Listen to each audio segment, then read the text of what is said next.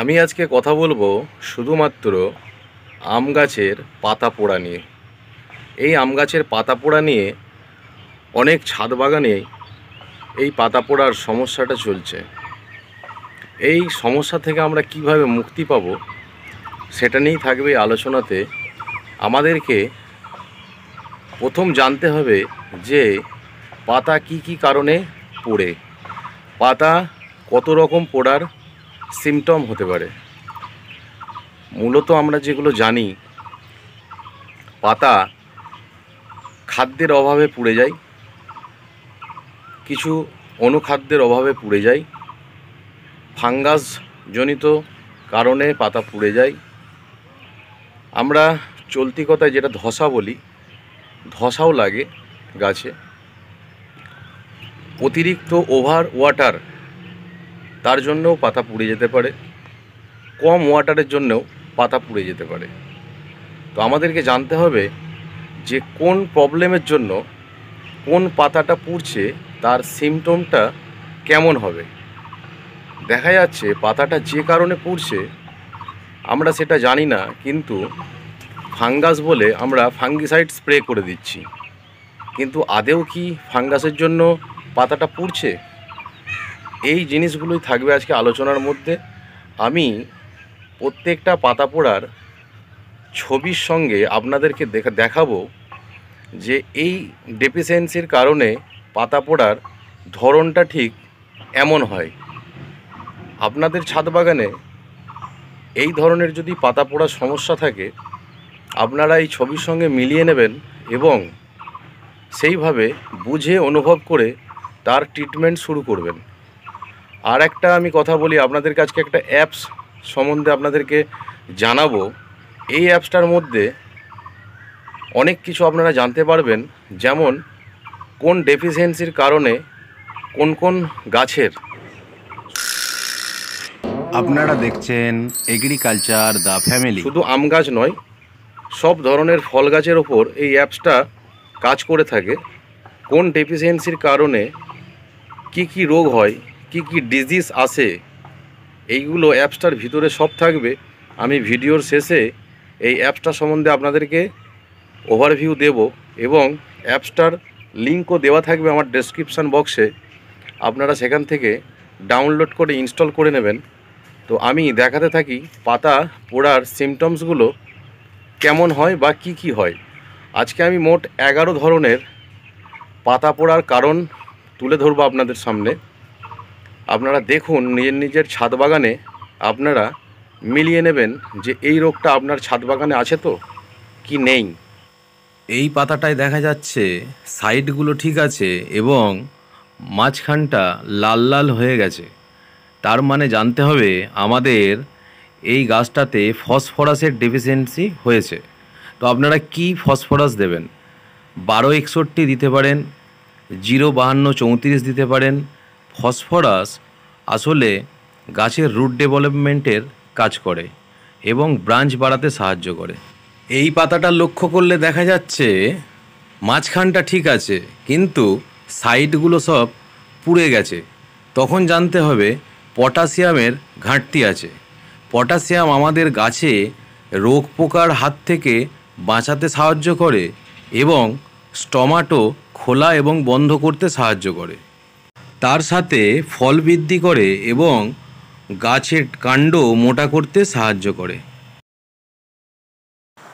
এই পাতাটা দেখুন, এই পাতাটা বাঁকা বাঁকা হয়ে গেছে এবং সরু সরু দেখতে লাগছে।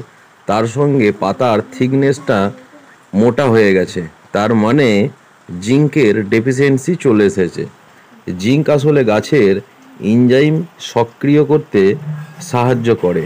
এই পাতাটা দেখুন, এই পাতাটা টোটাল পুরোটাই কিন্তু হলুদ বর্ণের হয়ে গেছে। তখন জানতে হবে আমাদের গাছে নাইট্রোজেনের অভাব হয়ে গেছে। নাইট্রোজেন আসলে অ্যামাইনো অ্যাসিড তৈরি করতে সাহায্য করে এবং গাছের সবুজ অংশের গ্রোথ বজায় রাখে বা বাড়াতে সাহায্য করে।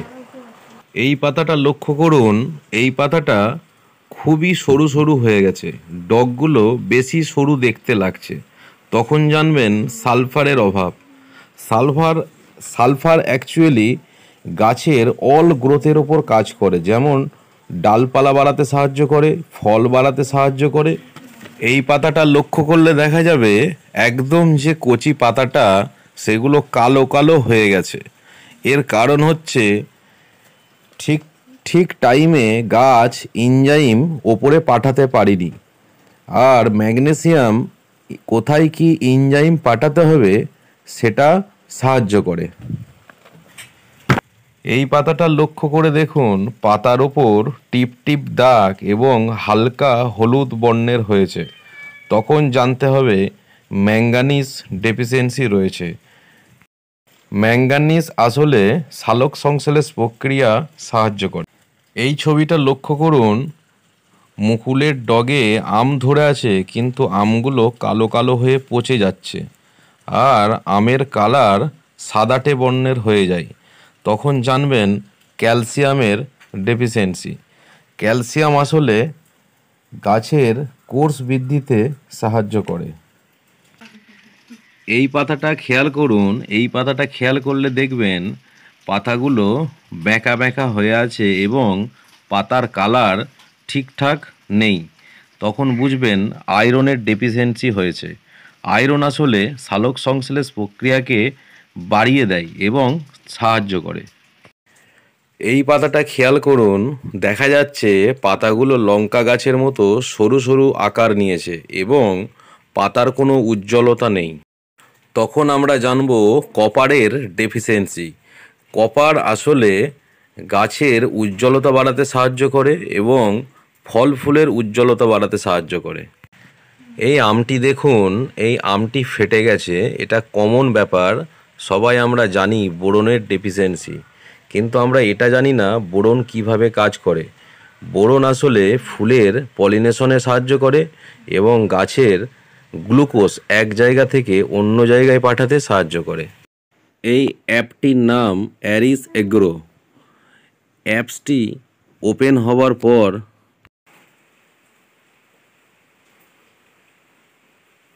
এখানে অনেকগুলি অপশান আসবে। সেই অপশানের মধ্যে এখানে ডেফিসিয়েন্সি যেটা আছে সেটা এই ডেফিসিয়েন্সির মধ্যে আমাদেরকে যেতে হবে। তারপরে যত ধরনের গাছ আছে, সেই ডেফিসিয়েন্সি সিস্টেমগুলো আপনারা দেখতে পাবেন। দেখুন, দেখা যাচ্ছে আপেল আছে, কুল আছে, কপি আছে, লঙ্কা আছে। এই রকম অনেক যত ধরনের ফল, সবজি আছে, বেগুন আছে, আম আছে, তরমুজ আছে। তো এইগুলো আপনারা একটা একটা করে খুলে দেখতে পাবেন, কোন ডেফিসিয়েন্সির কারণে কোন প্রবলেমটা বা কোন রোগটা হয়। যেমন আমি আপেলটা খুলেছি এই দেখুন, আপেলের নাইট্রোজেন ডেফিসিয়েন্সির জন্য কি হয়? এইভাবে আপনারা প্রত্যেকটা ক্রপ যে যে ক্রপের ওপর কাজ করবেন, সেই সেই ক্রপের খুলে দেখতে পারবেন বা দেখতে পাবেন যে কোন ডেফিসিয়েন্সির কারণে কোন প্রবলেমটা হচ্ছে। আশা করি আপনাদেরকে একটা ভালো ইনফরমেশন তুলে দিতে পেরেছি। এই অ্যাপসটার মাধ্যমে কারুর হেল্প নিতে হবে না। এই অ্যাপসটা নিজেরা খুলবেন, খুলে কোন ডেফিসিয়েন্সি আছে নিজেরাই বুঝতে পারবেন এবং সেই অনুযায়ী বাজার থেকে কিনে এনে আপনারা গাছে স্প্রে করবেন। আশা করছি ঠিক হয়ে যাবে।